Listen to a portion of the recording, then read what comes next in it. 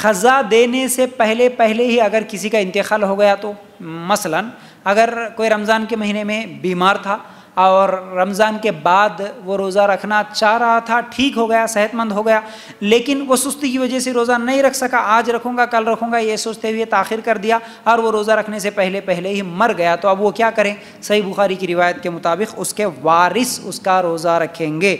देखिए, अगर बीमारी मौत तक जारी थी तो कोई ख़ज़ा या कफ़ारा नहीं, क्योंकि उसे ख़ज़ा का मौका ही नहीं मिला।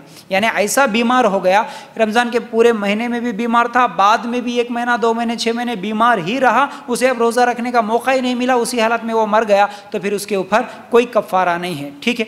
लेकिन अगर उसे शिफायाब मतलब रमज़ान के बाद वो शिफायाब हो गया, सेहतमंद हो गया, लेकिन सुस्ती की वजह से वो रोज़ा नहीं रख सका, इसी हालत में अगर वो मर गया तो उसके वारिस, उसका रोज़ा रखेंगे और रोज़ों का कफ़ारा हर दिन मिस्किन को खाना खिलाना है।